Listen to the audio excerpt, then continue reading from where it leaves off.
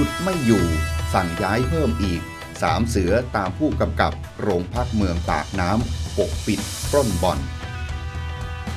พิษปล้นบ่อนไม่หยุด ผู้การสมุทรปราการ สั่งย้ายเพิ่มอีกสามเสือโรงพักเมืองปากน้ำเส้นปมปล้นบ่อนอาจ๋อง สุดหักมุมคำสั่งระบุชัดเจน ชื่อบ่อนการพนัน หลังก่อนนี้ ผู้กำกับกล้าปฏิเสธกับบิ๊กโจ๊กว่าไม่มีการปล้นบ่อน วันที่ 12 พฤศจิกายน 2565 เวลา 11นาฬิกา35 นาที Daily News ออนไลน์รายงานว่ากรณีข่าวลือหนาหูว่าพื้นที่อำเภอเมืองจังหวัดสมุทรปราการ มีกลุ่มคนร้าย 8 คน บุกปล้นบ่อน และมีคนร้ายถึงแก่ชีวิตหนึ่งราย เนื่องจากถูกกาดของบ่อนการพนันสวน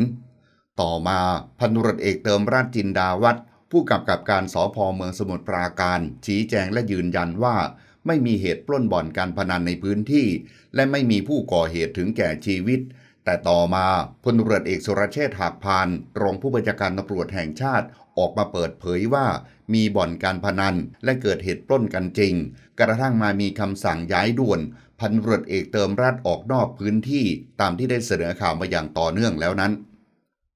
ล่าสุดเมื่อวันที่ 12 พฤศจิกายน พลตำรวจโทเจรพัฒน์ภูริเดชผู้บัญชาการตำรวจภูธรภาคหนึ่งกล่าวว่า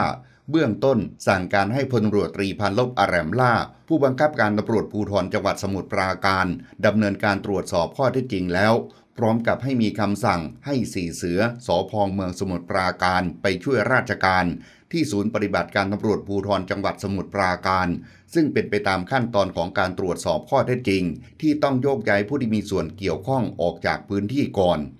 สอดรับกับทางพลตำรวจตรีพันลบอารมล่า ผู้บังคับการตำรวจภูธรจังหวัดสมุทรปราการที่กล่าวว่า ได้มีหนังสือคำสั่งให้ผู้ที่มีส่วนเกี่ยวข้อง ไปช่วยราชการที่ศูนย์ปฏิบัติการตำรวจภูธรจังหวัดสมุทรปราการ โดยขาดจากตำแหน่งเดิม เนื่องจากตรวจสอบข้อมูลพบว่า ในพื้นที่มีบ่อนการพนันจริง ตามข้อมูลที่พลตำรวจเอกสุรเชษให้ข้อมูลกับสื่อมวลชน พร้อมกับตั้งกรรมการสอบ พันตำรวจเอกเติมรัฐกรณีรายงานข้อมูลตอนแรก ว่าไม่พบว่ามีเหตุดังกล่าว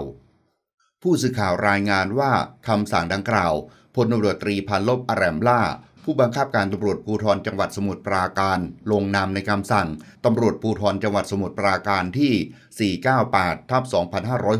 2565 เรื่องให้ข้าราชการตำรวจไปปฏิบัติราชการ โดยในคำสั่งระบุว่า สืบเนื่องจากเมื่อวันที่ 10 พฤศจิกายน 2565 มีการนำเสนอข่าวผ่านโซเชียลว่า มีชายชะกันจำนวน 8 คน ใช้อาวุธบุกปล้นบ่อนการพนัน ชื่อบ่อนอาจ๋อง ซึ่งตั้งอยู่แถวถนนศรีนาคริน ในพื้นที่รับผิดชอบของสถานีตำรวจภูธรเมืองสมุทรปราการ และยังระบุด้วยว่าคนร้ายถูกอาวุธได้รับบาดเจ็บหนึ่งคน และถึงแก่ชีวิตหนึ่งคน จึงมีเหตุอันควรสงสัยว่า เจ้าหน้าที่ตำรวจสพเมืองสมุทรปราการ ผู้มีหน้าที่เกี่ยวข้องจะบกพร่องต่อหน้าที่ เพื่อให้การสืบสวนข้อได้จริงกรณีดังกล่าว เป็นไปด้วยความเรียบร้อย อาศัยอำนาจตามความในมาตรา 68 มาตรา 92 และมาตรา 105 แห่งพระราชบัญญัติตำรวจแห่งชาติ พศ 2565 และตามระเบียบสำนักงานตำรวจแห่งชาติ ว่าด้วยการสั่งให้ข้าราชการตำรวจ ไปปฏิบัติราชการภายในสำนักงานตำรวจแห่งชาติ พศ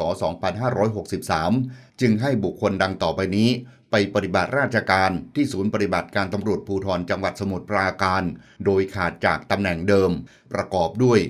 พันตำรวจเอกเติมราชจินดาวัฒน์ผู้กำกับการสถานีตำรวจภูธรเมืองสมุทรปราการ จังหวัดสมุทรปราการ พันตำรวจโทนาคพันโพธา รองผู้กำกับการป้องกันปราบปราม สถานีตำรวจภูธรเมืองสมุทรปราการ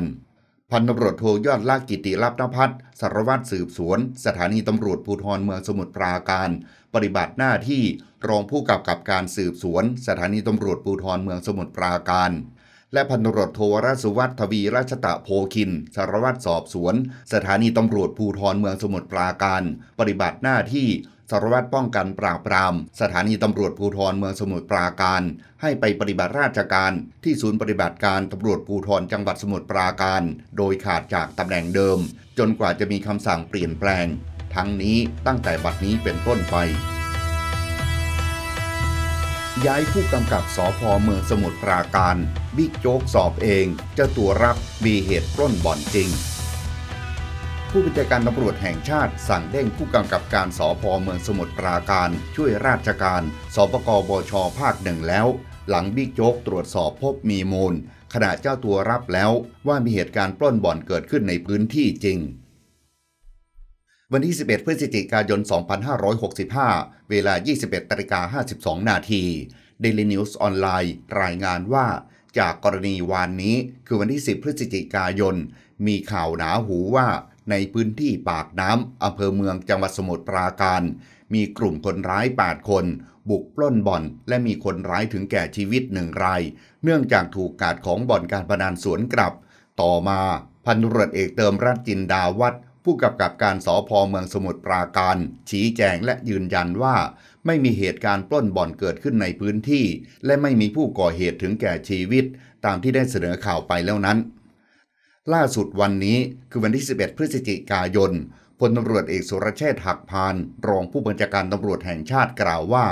วันนี้มีการโทรศัพท์สอบถามเรื่องดังกล่าว ซึ่งพันตำรวจเอกเติมรัตจินดาวัฒผู้กำกับการสพเมืองสมุทรปราการได้รายงานว่า ไม่มีเหตุปล้นบ่อนและปะทะกัน หรือมีบ่อนในพื้นที่ตามที่ได้มีการกล่าวอ้าง แต่ตนรู้สึกฉงนใจว่าหากไม่มีเหตุจริง เหตุใดจึงมีกระแสข่าวด้าหู จึงได้โทรศัพท์สอบถามกับนายเอกภพเหลืองประเสริฐ ผู้ก่อตั้งเพจสายไหมต้องรอด จนได้ข้อมูลบางส่วน และตนเองได้ส่งชุดทำงานส่วนตัว ลงพื้นที่ตรวจสอบพิสูจน์ข้อเท็จจริง เหตุปล้นบ่อน จึงทราบว่ามีบ่อน และมีการลักลอบเล่นการพนันจริง รวมไปถึงมีเหตุการณ์ปล้นบ่อนจริง แต่ไม่มีผู้ถึงแก่ชีวิต กระทั่งเมื่อช่วงเช้าที่ผ่านมา ผู้กำกับการสพเมืองสมุทรปราการ ได้โทรศัพท์กลับมาหาตนเอง และยอมรับว่า มีเหตุการณ์ปล้นบ่อนเกิดขึ้นจริง ซึ่งตนเองก็ได้ว่ากล่าวตักเตือนไป อย่างไรก็ตามพลตำรวจเอกดำรงศักดิ์กิติประพัฒน์ผู้บัญชาการตำรวจแห่งชาติ ได้สั่งการให้พันตำรวจเอกเติมราชจินดาวัฒน์ผู้กำกับการสพเมืองสมุทรปราการ มาช่วยราชการที่ศูนย์ปฏิบัติการกองบัญชาการตำรวจภูธรภาคหนึ่งแล้ว จากข้อมูลทราบว่าบ่อนดังกล่าว เปิดเป็นลักษณะบ่อนวิ่ง โดยเปิดมาเป็นเวลาสองวัน ก่อนที่จะเกิดเหตุปะทะกัน หลังจากนี้จะดำเนินการออกเป็นสองส่วน โดยส่วนแรกเป็นเรื่องของการมีบ่อนการพนันในพื้นที่ ซึ่งจะต้องมีการดำเนินคดีกับผู้ที่เกี่ยวข้อง ทั้งเจ้าของบ่อน นายบ่อน รวมถึงพิสูจน์ทราบตัวบุคคล ที่เป็นผู้เล่นการพนันทั้งหมด อีกทั้งจะต้องพิจารณาเอาผิดวินัยตำรวจท้องที่เกิดเหตุ ฐานปล่อยปละละเลย บกพร่องไม่กวดขัน ปล่อยให้มีอาชญากรรม และอาบยามุกในพื้นที่ ซึ่งหากมีข้าราชการตำรวจรายใด เข้าไปมีส่วนรู้เห็นในการปกปิดความผิด ก็จะต้องดำเนินคดีอีกส่วนหนึ่ง ส่วนที่ 2 คือการดำเนินคดีกับผู้ที่ก่อเหตุในบ่อน ซึ่งขณะนี้ตนได้สั่งการให้ชุดทำงานลงพื้นที่ จนทราบตัวผู้ก่อเหตุ และผู้ที่เกี่ยวข้องทั้งหมดแล้ว รวมถึงพิสูจน์ทราบตัวเจ้าของบ่อนที่แท้จริง อย่างไรก็ตาม ขณะนี้อยู่ระหว่างรวบรวมพยานหลักฐาน เพื่อเตรียมแถลงข้อเท็จจริงต่อสื่อมวลชนต่อไป